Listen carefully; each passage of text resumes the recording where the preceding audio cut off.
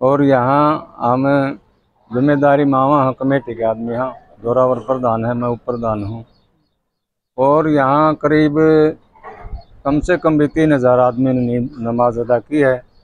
और ये ईद की नमाज़ है। ये इस ईद की नमाज़ के बाद आपस में भाईचारा गले मिलता है। और जो ये ईद का त्यौहार है ये खुशियों का त्यौहार है। और ये बकरीद है, ये हज का महीना दिल हिज्जा का महीना बोला जाता है उर्दू में। तो इसमें आज हज पूरा होगा और आज वहाँ कुर्बानी शुरू होगी। हर मुसलमान पर कुर्बानी भी वाजिब यानी ज़रूरी है, जिसकी हैसियत हो। बगैर हैसियत का कोई ज़रूरी नहीं। तो आज तीन दिन तक ये कुर्बानी चलेगी। तीन दिन के बाद हजी लोग हमारे वापस शुरू हो जाएँगे। और ये अच्छा इंतज़ाम हुआ है और भवानी प्रताप साहब भी आए, उनने करीब ढाई करोड़ का उरे यहाँ देने का वादा किया है, इस जगह का अच्छी तरह बनाने का।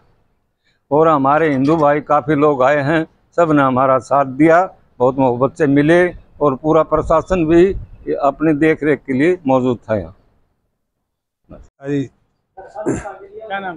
जोरावरली प्रधान मस्जिद कमेटी भिवानी।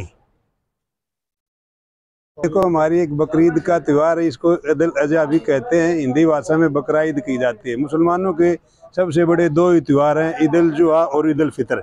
ईद फितर को मीठी ईद भी कहा जाता है ईद जुहा को तरतरी ईद या बकरीद के नाम से भी जाना जाता है। इस दिन कुर्बानी का दिन है, त्याग का दिन है। सब मुसलमान भाई एक दूसरे से मोहब्बत से गले मिलकर एक दूसरे को मुबारकबाद देते हैं और ये बड़ी खुशियों का त्यौहार है। इस दिन यहाँ करीब तीन, साढ़े तीन हज़ार लोग इकट्ठे हुए हैं। सबको अच्छे इंतज़ाम कर रखे थे कमेटी ने और सब अमन व चैन, शांति के लिए, पूरे भारत विश्व के लिए दुआ की, अल्लाह से दुआ की है।